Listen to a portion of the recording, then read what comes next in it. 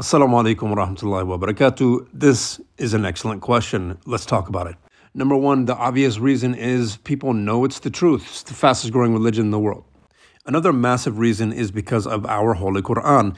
Literally, it is the only holy text that has not changed. It is in its original language of revelation, where no other book does this. Plus, it's been memorized by hundreds and millions of Muslims since the beginning. Another reason is our uprightness and our strong stance uh, against immorality, where other religions are letting anybody in and letting them uh, have their own like opinion of what religion is, what their holy text is. Muslims don't do that. It's strictly Quran and Sunnah with us, and we do not waver in that at all, and we do not back up an inch. Another thing is is we are not really concerned with how the world views us or if people dislike us or like us. Um, it's not a popularity contest with us.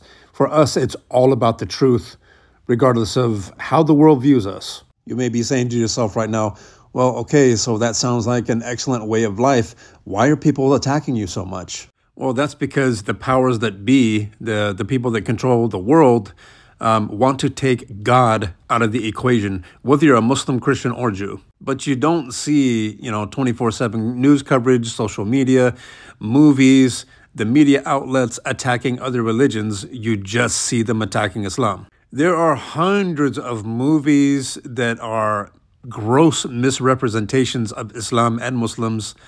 Um, it's like you, it's it's it's open game. You can say whatever you want towards Muslims. But if you say anything on social media or the media outlets, or I mean, the we won't name the movie that just came out on Netflix. If you make a movie like that, oh, they won't let you talk bad about them.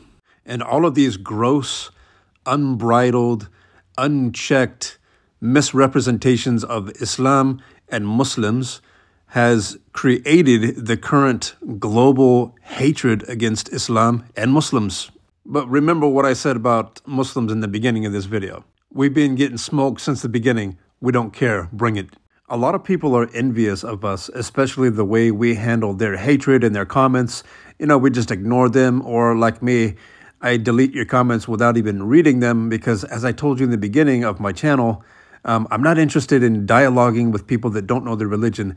I will teach you your religion and I will teach you Islam. Wait a minute, you didn't know that I delete your comments? Oh, yeah. Go look, go check for your comments, see if it's there. It's gone. And even though the situation for Muslim isn't ideal at this moment in time, we still push forward. The dawah don't stop.